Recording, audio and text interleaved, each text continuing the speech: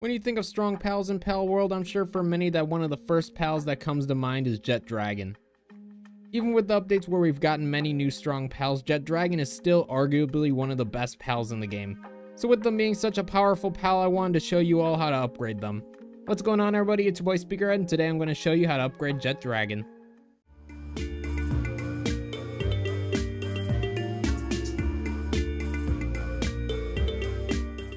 But before we get into this guide, just a friendly reminder that if you enjoy any of the music you hear during this video or just want to support the channel in general, it's all part of my DMCA free music label, Speaker Head Studios. All the music on this label is completely DMCA free, so go ahead and use any of these songs for your content creating needs.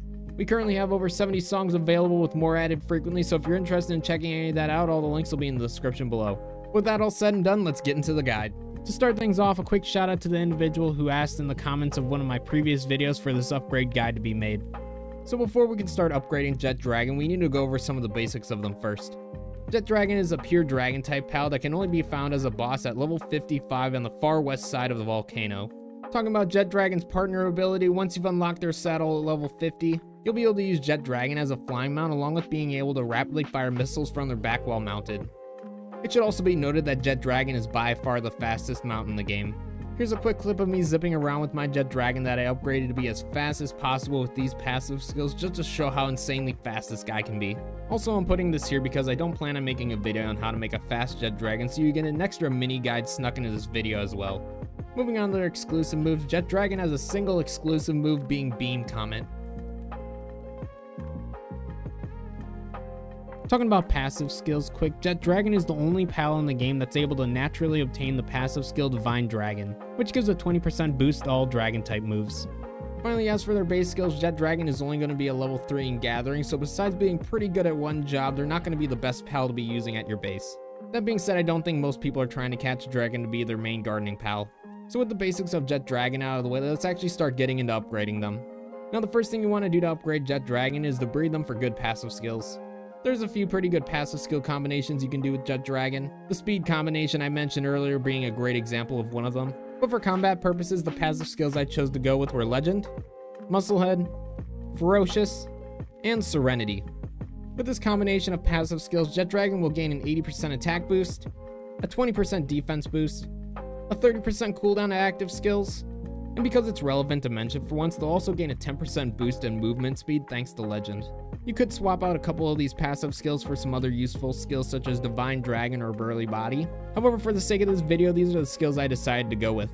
But once you breed a Jetragon with the passive skill combination you prefer, the next step to upgrading them is going to be in a PAL Condenser. By upgrading any PAL in a condenser, their partner's skills will be upgraded along with their general stats.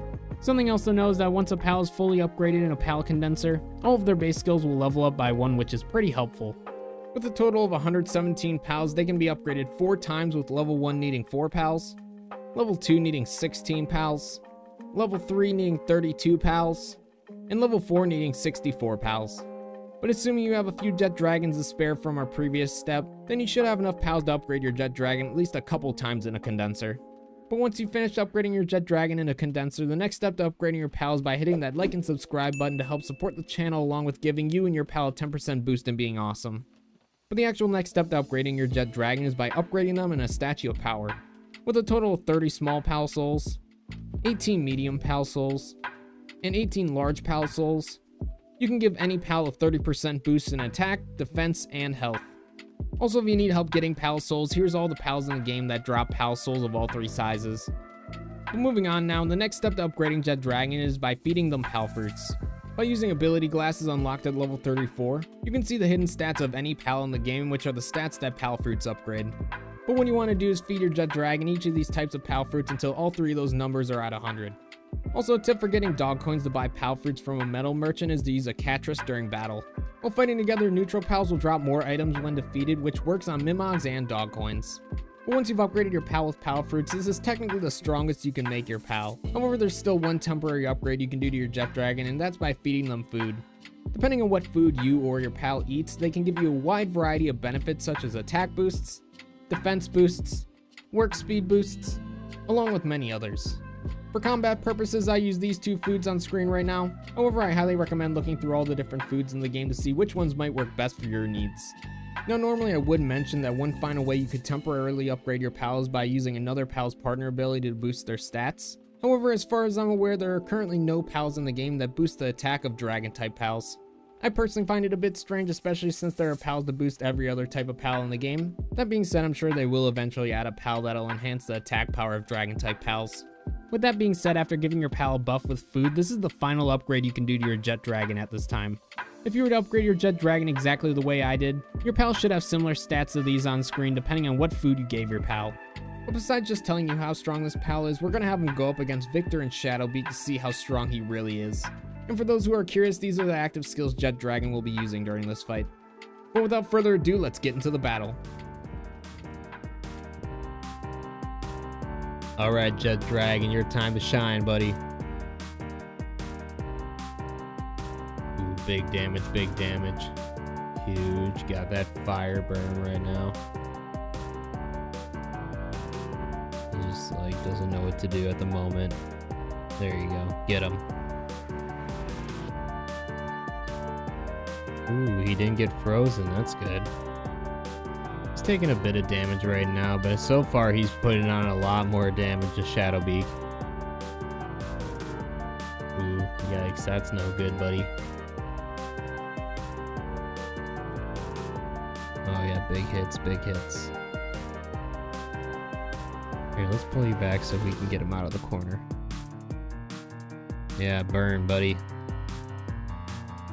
Alright, Jetragon, get back out there, buddy. I just jumped over my own Dragon's attack. Whoopsies. That beam comet does so much damage.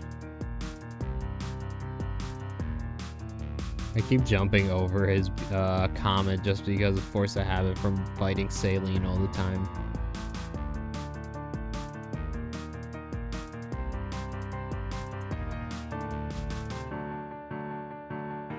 That beam slicer just does so much damage.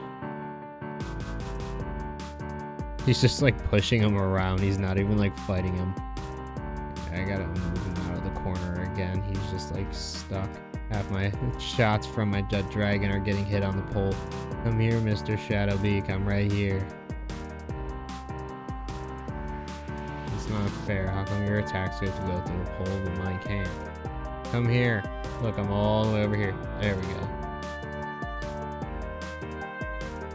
Problem is Jetragon's already just so fast, and then with Legend, he's even faster, so he's just zipping around.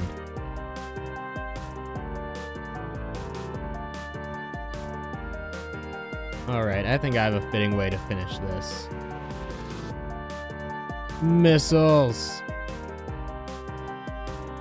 Yeah, victory! Woo! With that battle concluded, I hope this shows just how powerful you can really make Jetragon. But that's going to wrap up my guide on how to upgrade Jetragon. Let me know what you guys think down below.